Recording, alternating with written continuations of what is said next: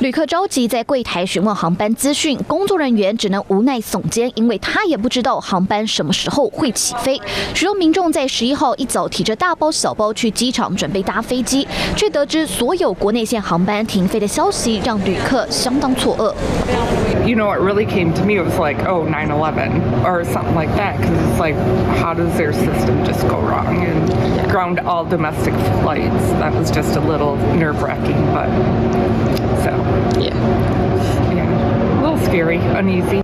而受到波及的航班大部分集中东岸，但开始往西部蔓延，全都是因为美国联邦航空总署 FAA 提供机师飞航必要通告的系统一大早突然宕机，让民众听了很意外。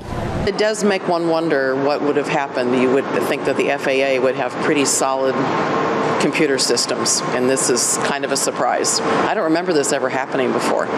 所幸经过 FAA 紧急抢修，纽约纽华克、亚特兰大等机场已经在当地时间十一号早上九点左右陆续恢复起降，全美各地航班也逐渐开始恢复起飞。不过这次事件造成四千三百航班延误，并有大约七百航班取消，旅客的行程全被打乱。对此，白宫发言人尚皮耶说，相关官员已经向拜登总统简报这起事件，目前没有迹象显示这是网络攻击。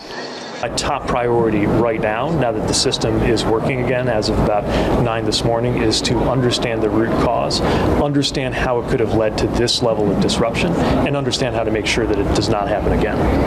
虽然经过连夜抢修，全美各地航班已经逐渐恢复起飞，但国家空域系统运作依然受限。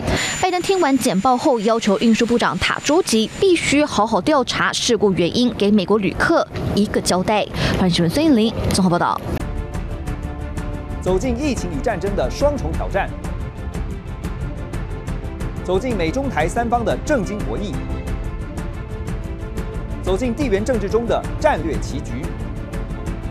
环宇全世界二零二三再升级，每周一到周六晚间九点，带您走进全世界。